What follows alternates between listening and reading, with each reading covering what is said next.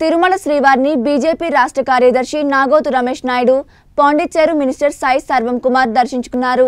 దర్శనానంతరం వీరిని రంగనాయకుల మండపంలో వేద పండితులు ఆశీర్వదించగా ఆలయ అధికారులు పట్టు వస్త్రంతో సత్కరించి స్వామివారి తీర్థప్రసాదాలు అందజేశారు.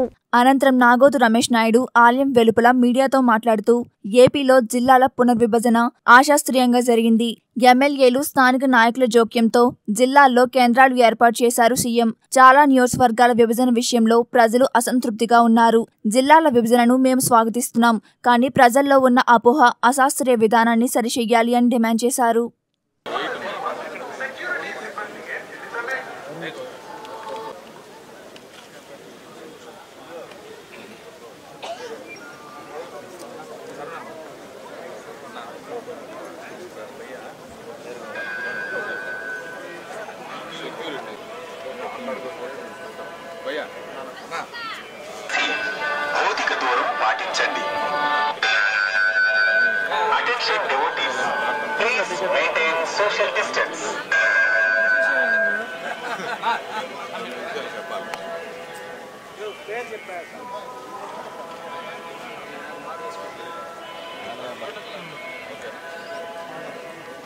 ఆ, ఇది చేస్తాం అనమాట మీరు ఇక్కడ రండి.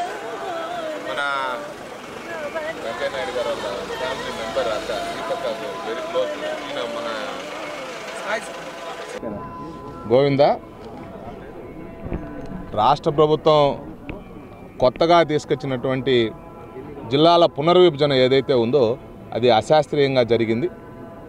దాని విషయంలో ముఖ్యమంత్రి గారు పునరాలోచన చేయాలని చెప్పి ఎక్కడెక్కడైతే ప్రజలు రోడ్ల మీదకి వచ్చి తమ మనోభావాలకు అతీతంగా అశాస్త్రీయమైనటువంటి రీతిలో రాజకీయ ప్రయోజనాలు ఆర్థిక ప్రయోజనాలతో జిల్లాల పునర్విభజనకి సంబంధించినటువంటి కేంద్రాల ఏర్పాటులో వాళ్ళకు సంబంధించినటువంటి అధికార పార్టీ గుప్పటి మంది ఎమ్మెల్యేలు స్థానిక నాయకుల యొక్క ప్రభావంతో జగన్మోహన్ రెడ్డి గారి నిర్ణయాలు తప్పు చేశారని చెప్పి భావిస్తున్నారు ప్రజలందరూ కూడా.